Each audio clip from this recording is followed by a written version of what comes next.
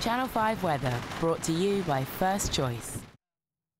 Hi, I'm Sian Welby. Well, I hope you had a good day today. It's going to be a warm and muggy night tonight in the south of England. The southwest in particular will see some heavy and thundery showers developing, and here it really will be quite a muggy night. Further north, it will be cooler with high pressure in charge across central Britain. We'll have some clear spells, and in the towns and the cities, temperatures will be in single digits, but they will be much lower in the more rural spots. But still, lots of sunshine first thing tomorrow morning. You can see just how muggy it will be in the southwest. First thing tomorrow morning, 16 degrees across Devon and Cornwall. Now, through the course of the day, we'll continue to get this warm and muggy air moving in from the south. Much of the north will remain dry, but it will be a little bit cloudier over Northern Ireland. 13 to 18 degrees, so still quite warm and quite humid. Across Scotland, we're pushing into the 20s. There will be some sunshine around, so a fairly decent day, perhaps a little bit cloudier towards the far north of Scotland. Northern England, 20, 22 degrees. The Midlands up to 23 there there towards Nottinghamshire,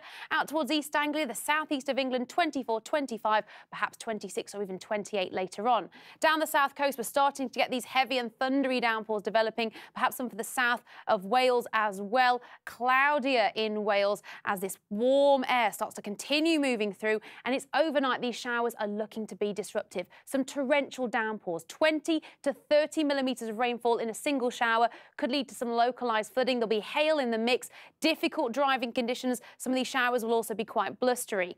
Looking ahead to Saturday afternoon, those showers will become more widespread. And you can see, looking at the temperatures, it'll be a touch cooler.